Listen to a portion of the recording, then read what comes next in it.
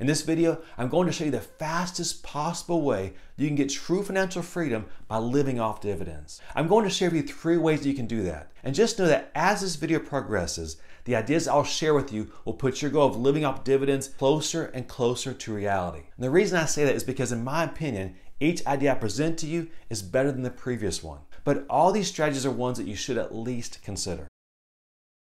So what is the fastest possible way you can retire using dividend stocks and how much would you need to retire? Here you see my real life portfolio of stocks that I own right now. Now I won't go into great detail, but I actually got all these stocks for free. If I see how I did it, I'll tell you about it at the end of this video. But this portfolio contains 94 stocks. If you've been searching around on the internet for the fastest way to retire, most likely you've run across the term dividend growth investing. And it's a great term and idea. The problem is that in real life, if you invest in a dividend growth company that starts out paying 1, 2, or even 3%, it can take you a long time to get enough dividend income to live off of. Now, please don't misunderstand me. I own some dividend growth stocks. And here you see my list of 94 stocks sorted by the lowest dividend first. Notice that it includes companies that you're very familiar with, companies like MasterCard, Apple, and even the ETF QQQ.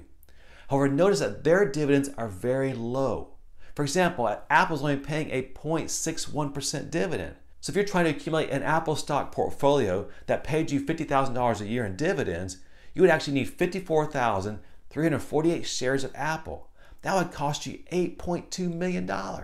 Forget about it. It's not even worth discussing that alternative. So let's go to the other half of my portfolio. Let me show you my highest dividend paying stocks. Now I've sorted this 94 stock portfolio by the highest dividend paying stocks up top. Here you see the highest dividend paying stock I own right now is MPW. MPW is a real estate company that owns hospitals. Now let's do some math. So if you wanted to make $50,000 a year off dividends by owning medical property trust, you would get an annual dividend of $1.16 per share. In order to pocket $50,000, we need 43,103 shares. Multiply that times the $12.77 per share that Medical Properties is currently trading for, and you need a whole lot less than that $8 million you needed back with Apple. You would only need $550,000. But I don't think it's very smart to have all your money in one company. So why don't we diversify a little bit here? Let's take my top 10 highest dividend paying companies and use the same ratios that I'm currently invested in in this portfolio. Now, this is by no means a suggested portfolio. As you saw, I own a portfolio of 94 stocks that I handpick on a weekly and monthly basis to add to my positions.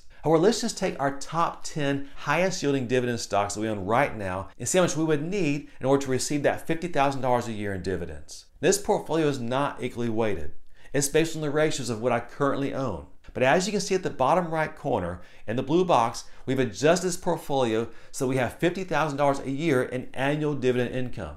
As you see, the average dividend yield across these 10 stocks is currently 7.69%.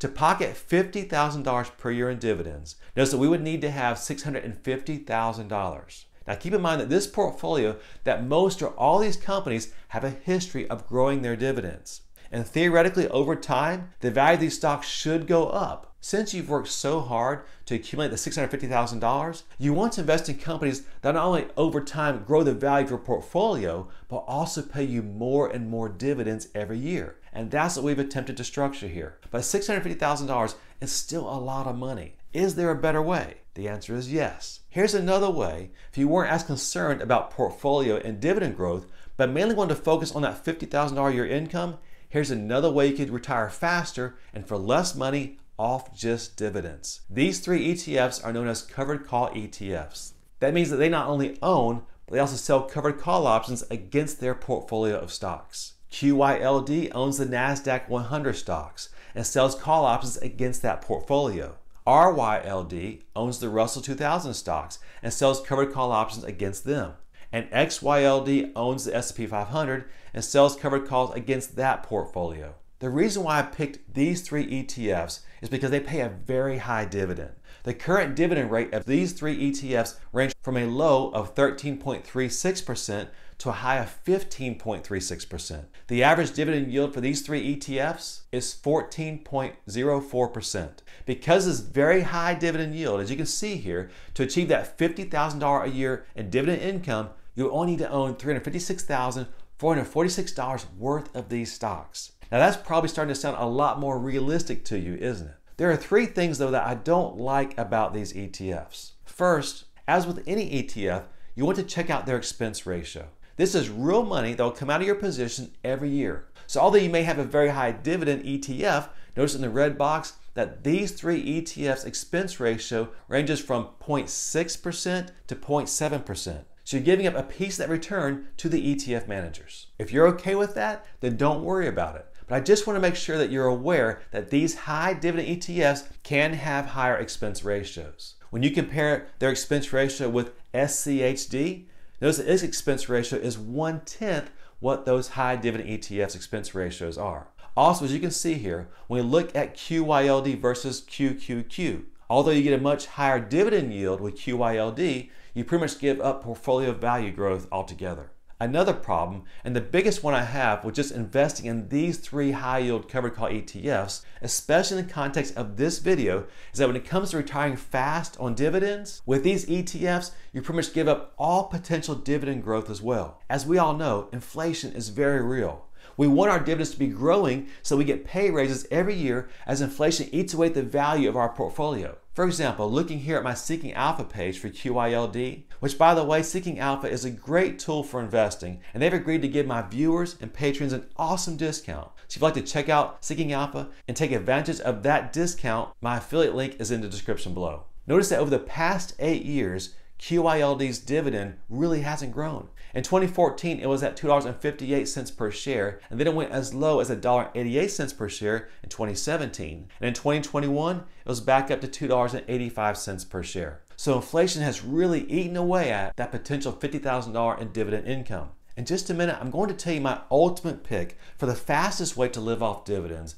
But one alternative that you might want to consider will be a combination of the two ideas I've mentioned so far. If you really just want easy, you might consider putting a chunk of your money in these covered call ETFs and another chunk of your money in an ETF similar to SCHD. I made a video several weeks back about SCHD, sharing how it only invests in very high quality companies and has been growing its dividends on average over 10% a year over the past 10 years. I'll share that link to that SCHD with you at the end of this video if you want to check it out. If you're looking for super easy with dividend growth, you might consider putting some of your money into these covered call ETFs and then another chunk of your money into an ETF similar to SCHD that has a history of not only growing its dividends, but also long term growing the value of that portfolio. Here's what that portfolio might look like. You notice at the very bottom, your combined average dividend yield is now down to 11.26%. That's still a very high dividend.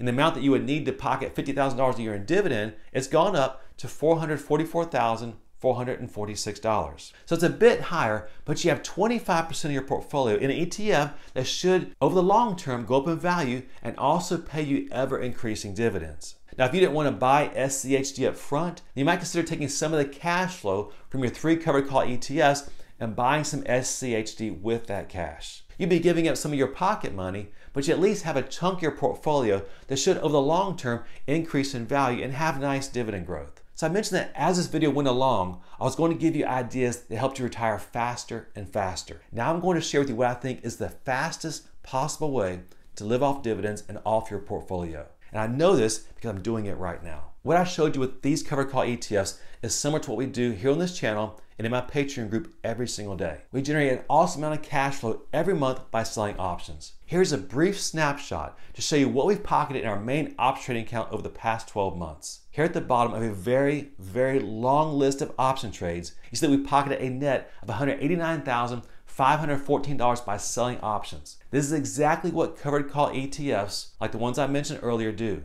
But in addition to selling covered calls, we also sell cash secure put options. But since some of our positions are covered calls, we collected $11,635 in dividends from the stocks that we own that we had sold covered calls against. In addition to that, as a result of the cash secure put options we sold, we collected just over $2,000 in interest over the past 12 months on the cash we have sitting aside in that account, sitting there waiting in case those cash secure put options were assigned to us. For all these positions, we maintained a balance of about $600,000 in this account. We actually have set aside just over a million dollars to cover every position we have in this account. That means that we have not used margin or leverage to trade these options. So if you do the math, we've pocketed just over $203,000 by selling options or by doing what these covered call ETFs do that I mentioned earlier. When you figure the million dollars we have set aside for this account, instead of a 14% dividend minus the expense fee that I mentioned, we've actually pocketed right at a 20% dividend. It does involve a bit more work, but I'm happy to do the work for that extra 6 plus percent in dividends. If you'd like to get an alert as soon as we buy stocks and sell options, check out the benefits of becoming a patron down at the link in the description below. If you'd like to see exactly how much we pocket on a monthly basis and how we've been able to accumulate almost $50,000 in free stock, check out the monthly cash flow video series here on your right. If you'd like more information on the ETF I mentioned earlier, SCHD, check out the video here on your left. I'll also put a link to both of those videos down in the description below. Until next time, happy investing, and we'll see you again soon.